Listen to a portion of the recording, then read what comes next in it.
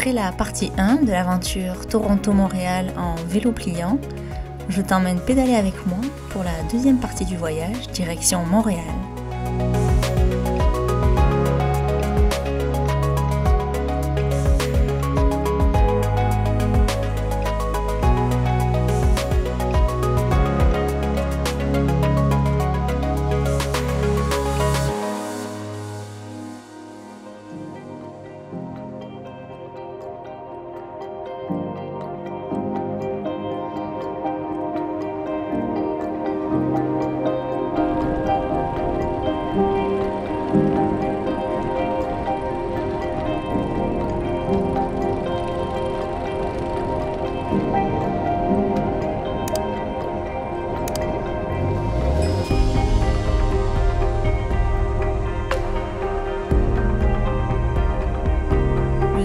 Pas changé, on est toujours sur un ressenti moyen de 40 degrés environ.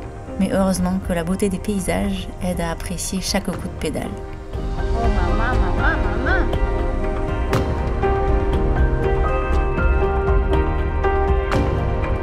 C'est vraiment beau à Basse. Il me reste 30 km. Tu fais déjà 40, c'est pas mal hein? C'est trop, trop, trop beau ici.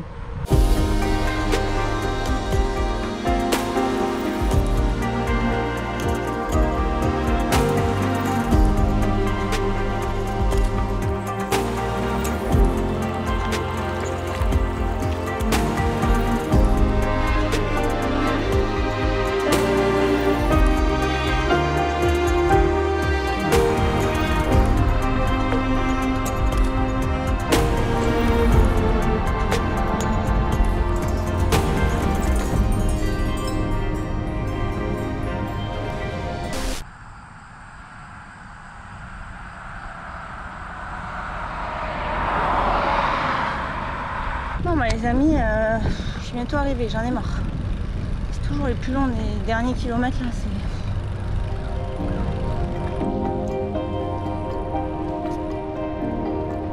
Arrivé à Kingston, j'ai rendez-vous avec Tony et Jennifer qui habitent sur l'île Wolf en face de Kingston. En fait, c'est une île qui s'étend sur 30 km de long. Me voici à Kingston. Ah mon dieu, c'était long à la fin. En plus, je voyais les, nuages. C'est annonces de l'orage euh, en fin d'après-midi. En plus, j'ai fait un détour. Surtout ne pas faire de détour quand on a une grosse journée. C'est à ne pas faire. Donc là, Tony vient me chercher dans 20 minutes. Je pense que je vais aller me rapprocher du Delta Hotel.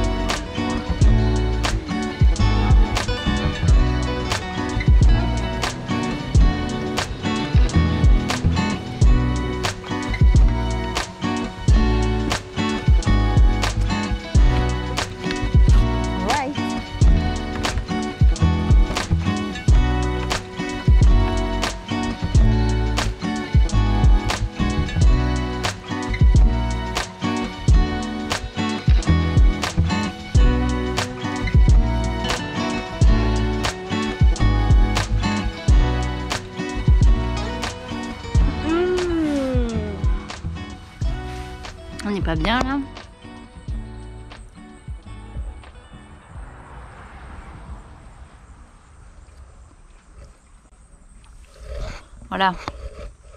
Là, je suis installée, douchée, masser les jambes. Et c'est parfait. J'adore quand je suis à... Ça veut dire que là, je peux profiter. Je peux... Bon, il veut pas tenir, lui. Hein. Casser les bonbons. Je peux manger j'ai acheté des craquelins, je mets un peu de miel entre.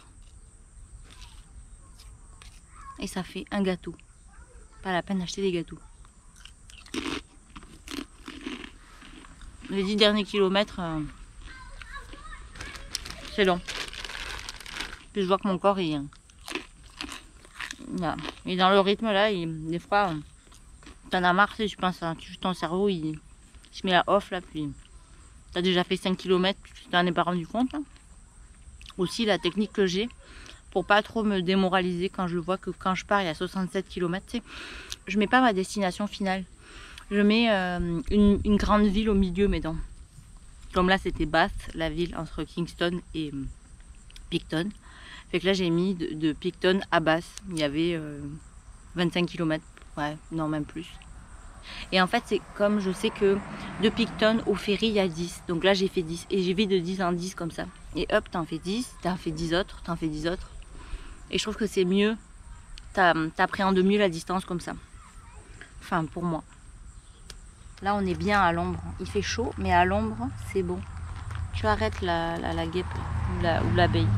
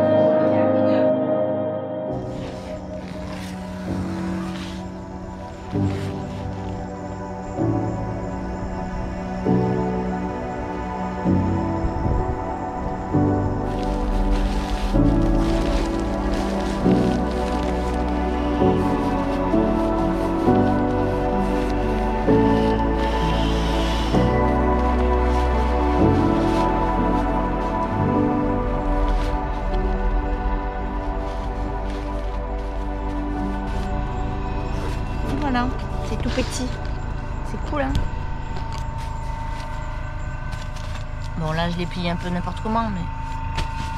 S'en fout.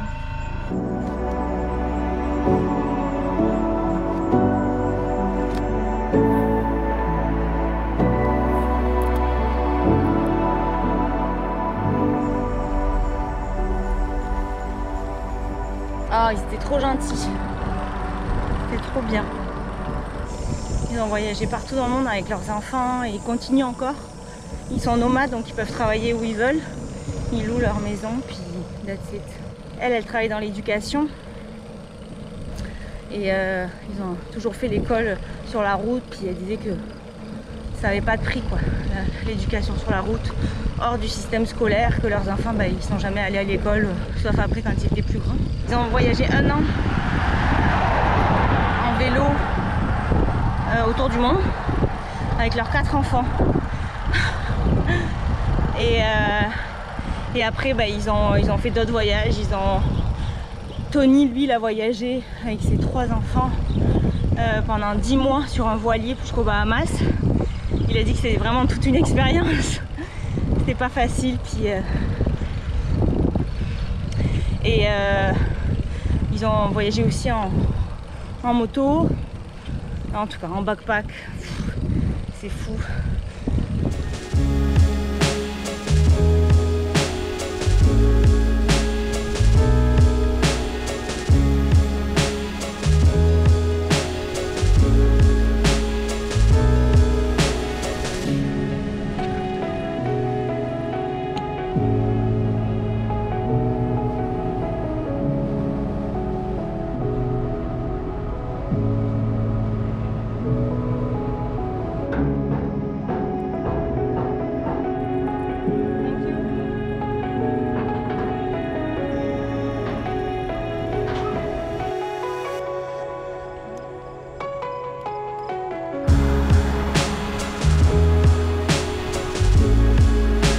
Tellement chaud, ça n'a pas d'allure. C'est encore 6.5, 6.7 pour arriver au camping Ivilia. C'est pas si pire, mais cette chaleur, c'est cool, c'est une piste cyclable, mais il n'y a aucun arbre. Enfin, sur le côté. Mais euh, c'est juste pas possible qu'on va se dépêcher. On va tracer un bon coup là. En plus, aujourd'hui, c'est pas une si longue journée, c'est 47. Enfin, quand même. Mais on dirait qu'avec cette chaleur, ça a du... ça amplifie l'effort.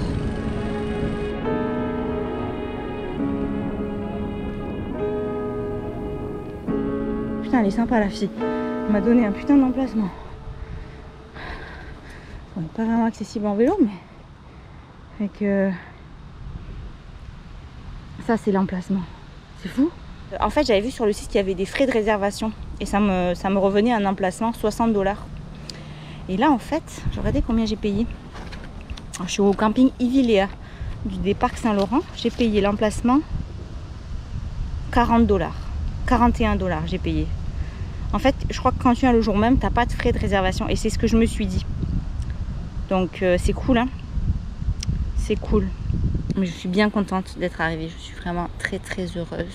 Quand tu arrives comme ça, fatiguée, ensoleillé, tu profites deux fois plus en fait des, choses que tu as en fait. De la tente, d'avoir un abri, de, manger, de te faire. C'est, tout devient un luxe en fait. C'est ça, qui est, c'est génial en fait. Il est dégueulasse. Hein Il est dégueulasse, Archie. Bon, est-ce qu'on se préparerait pas un petit quelque chose?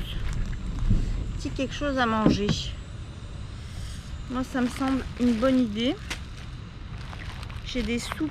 Qu'est-ce que j'ai que j'ai pas mangé.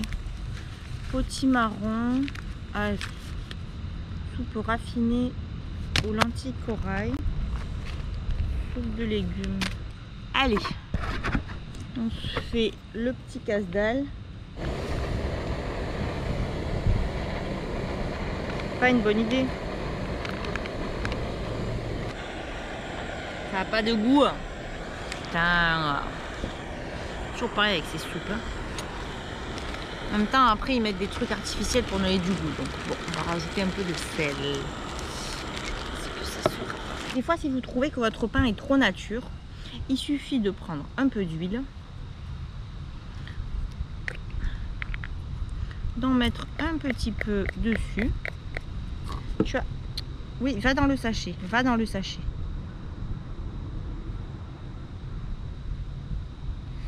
Et je... Comment? Je me fâche à quel degré là? Et après un petit peu de sel dessus. Et voilà un peu d'huile et de sel. Mmh, c'est bon. On a un pain qui est agrémenté comme on dit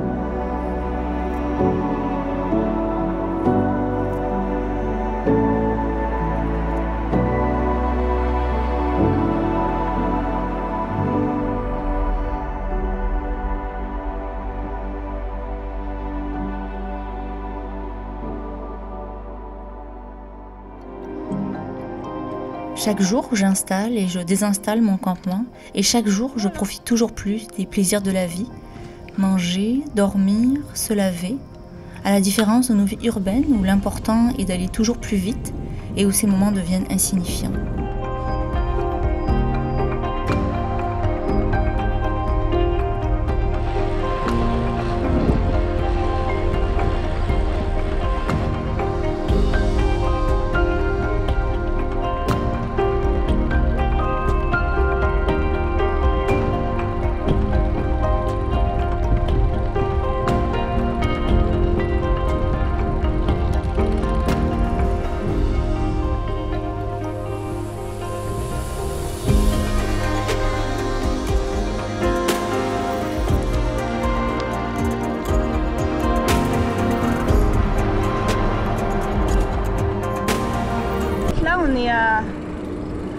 À Johnstown, donc là où il y a tous les camions là. Et en fait le pont là qu'on a vu, ben, en fait il y a la frontière aux États-Unis, elle est là en fait. C'est ce bâtiment là. Juste là. C'est la frontière avec les États-Unis. C'est ouf.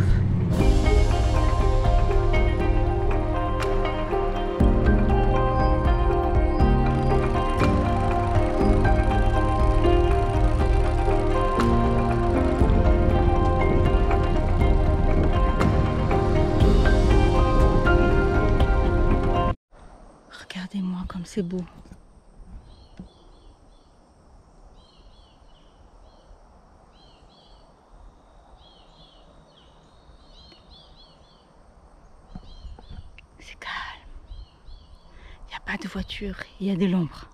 Alors juste avant Cornwall, c'est le Lanceau qu'on appelle. C'est euh, en fait euh, plein d'îles, plein de bancs de terre. Et il y a au moins 20 km de pistes cyclables. Donc euh, vraiment, je vous le conseille. Il y a plein de campings tout le long. Et souvent, c'est des campings avec des emplacements au bord de l'eau aussi. Il y a des plages. oh, c'est- c'est cool, c'est beau. C'est pas trop loin de Montréal. Cornwall, je crois que c'est à 130 km de Montréal. Fait que à 150, on va dire. C'est un bonheur. C'est vraiment un bonheur. Je me régale. Et il fait beau. Alors ça, ça, ça m'aurait fait chier de faire ça sous la pluie. Pour vrai là. Mais je remercie le ciel tellement. «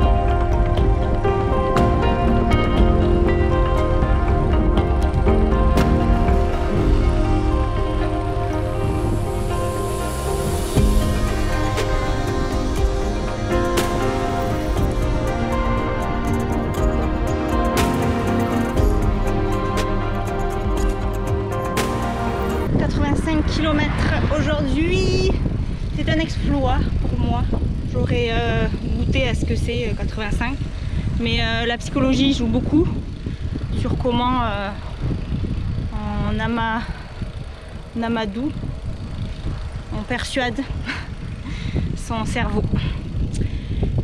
Et euh, ouais, en fait, voilà, quand on est lancé, on est lancé. hein. Faut se sentir en fait. Si on est fatigué, ça sert à rien. Ça sert à rien de. Je suis pas du genre. ouais, il faut rouler, faire des kilomètres. Je me suis dit que je ferais tel kilomètre. Sûr que souvent, oui, j'aime ça arriver à tel endroit, mais c'est des fois, je me spot plusieurs endroits euh, éloignés des uns des autres pour voir. euh, ok, ben je peux, euh, je peux en faire un peu plus, je peux aller un peu plus haut. Donc voilà. Ça m'aura pris 12 jours. Bah, je suis pas arrivée encore là, j'arrive dimanche, mais là on est jeudi. Mais donc là on est jeudi, vendredi, samedi. Demain, donc en fait depuis depuis 10 jours, il fait canicule comme ça. Tenez-vous bien. Demain, il va faire 20 degrés. Ça baisse à partir de demain. Quand je rentre à Montréal. Ah ben voilà, c'est trop bien.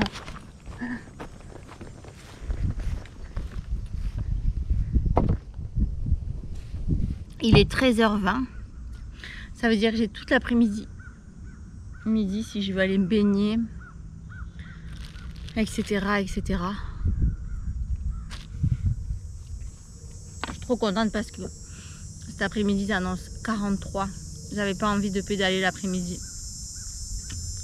J'ai bien fait de partir tôt.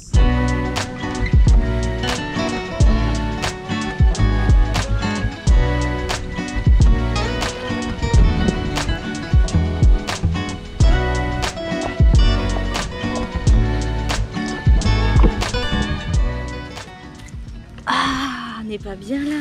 Oh, on est peinard. Si vous venez en tente, c'est pas mal parce que, en fait, tout le long là, même de l'autre côté, c'est euh, des emplacements qui ont vue sur l'eau. Il y a des accès à l'eau en fait euh, très facilement.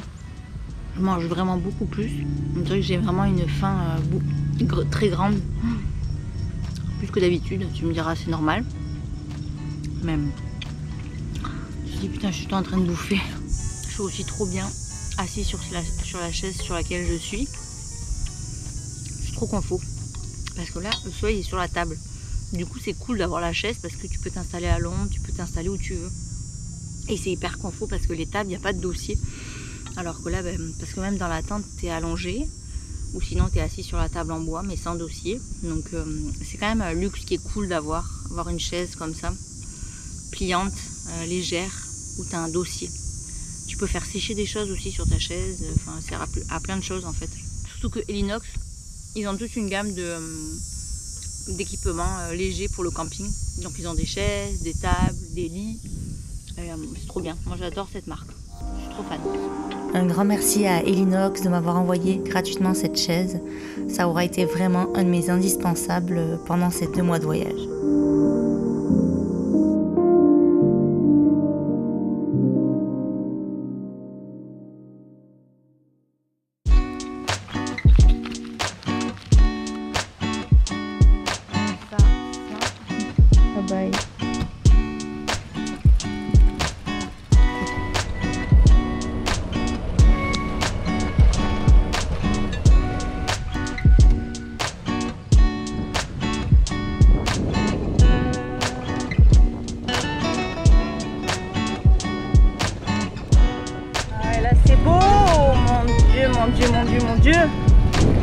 Ah, c'est beau. On prendrait pas une petite photo là?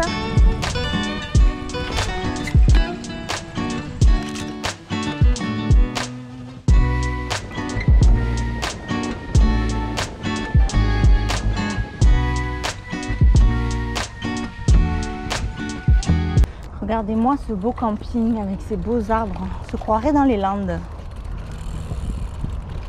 On se croirait dans les Landes. C'est aussi ça les... le camping. hein. Charlemagne. Mes batteries externes n'ont plus de, n'ont plus de piles vu que je suis beaucoup en camping. J'ai pas eu de accès à des prises secteur euh, bain-bain. Avec, euh, avec ces soins.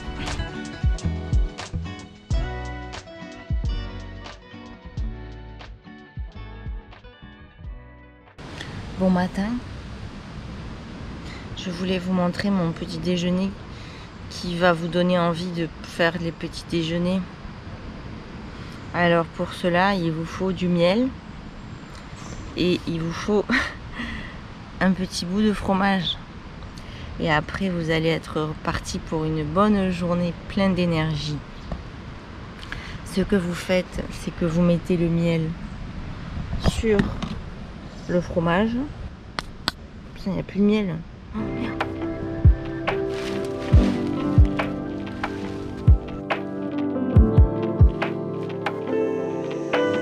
Les amis, c'est un départ. hein. Allez, dans 12 km, on est au Québec.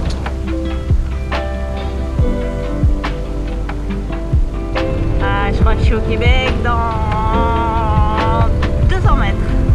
Yeah, je suis au Québec. Ça y est, je suis au Québec.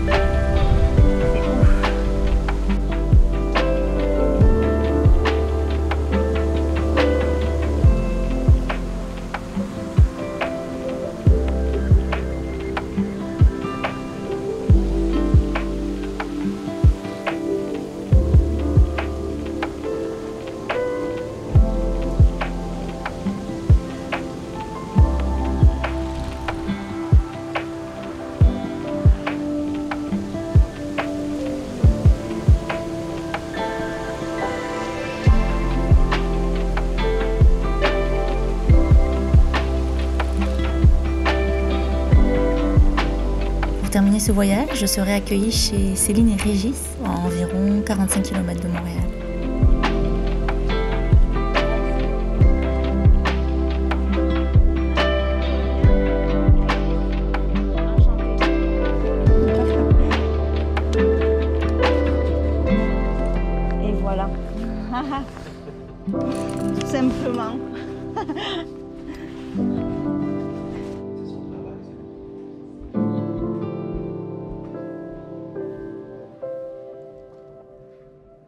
Les amis, je suis chez Céline et Régis.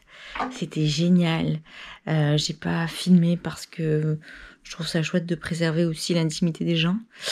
Euh, mais, euh, mais ils m'ont accueilli vraiment à bras ouverts. Et en fait, leurs deux enfants, ils ont, euh, ils ont traversé le Canada en vélo.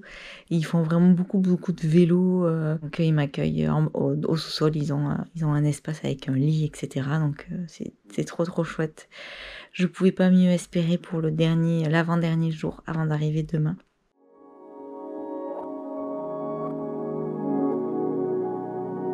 Je viens de partir de chez Céline et Régis, trop gentil. Ils m'ont regonflé les pneus. Euh, remplir ma gourde d'eau. Le petit déjeuner ce matin, avec la banane, les petits fruits. Ils sont trop gentils. Vraiment, c'est trop trop adorable de tomber sur ce genre de personnes. Ils ont vraiment une belle attention. euh, trop trop chouette.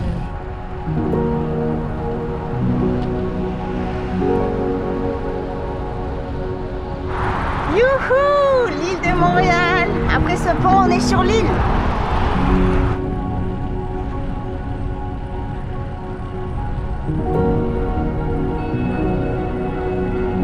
Avant de partir, je n'aurais pas pu imaginer que j'allais vivre tout ça. rencontrer autant de gens bienveillants, me dépasser, apprendre sur moi et ma capacité à gérer l'effort. Pédaler ce vélo a été vraiment un coup de cœur pour moi. Tout ça pour vous dire que les portraits et les voyages sur cette chaîne ne font que commencer.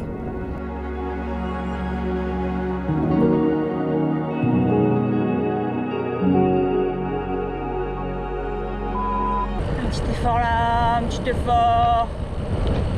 C'est une question de mental. Emmène le ballon.